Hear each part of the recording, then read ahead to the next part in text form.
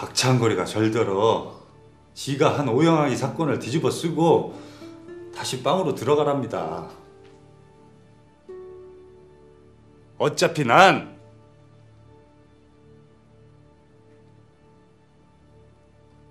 암으로 한 달밖에 살 수 없으니 지 죄를 다 뒤집어 쓰고 가랍니다. 전 그러고 싶지 않은데 멍청해서 배운 게 없어서 안 그럴 수 있는 방법을 모르겠습니다. 그래서 그래서 저는 그러려고 합니다.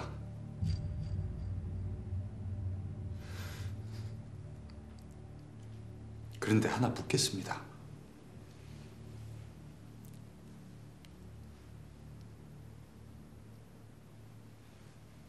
정현사님, 정말 절 안 쏘셨습니까?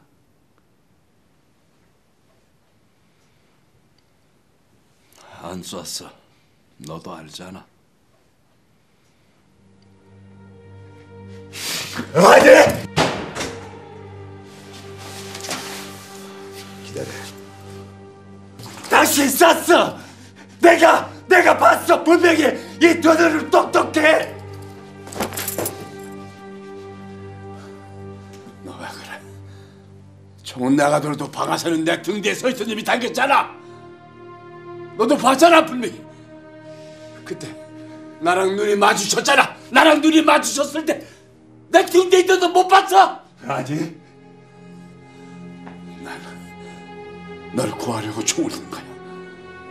놈이 널 칼로 찌르니까 그래서 놈한테 총을 쏘고 만약 내가 널 죽일 심산이었으면 왜 총을 두 발 다 쏘지 딴 놈한테 쐈겠냐? 아니, 내가 본 건 당신이 날 쏘던 모습이야! 하지만 난! 하지만 난!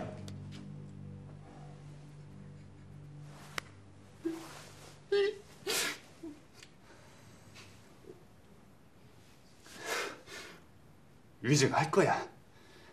당신이 아닌 딴 놈이 총을 쐈다고 위증할 거야. 왜냐고? 정진아 때문에. 당신 딸 정진아 때문에.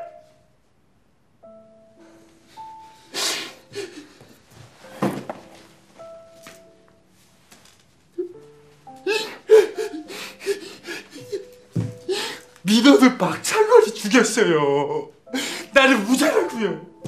당신이 안 믿어도 난 무죄야. 세상 사람들이 다 안 믿어도 난 무죄라고.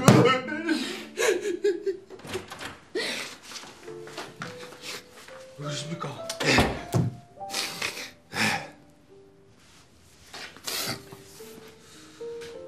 그날 기억이 났습니다.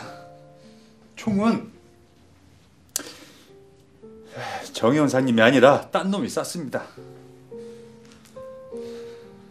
근데 왜 정영사님 옷 화학 반응 검사에서 몰라요. 다른 건 정신이 없어서 기억이 안 나요. 정 형사님은 아닙니다. 분명히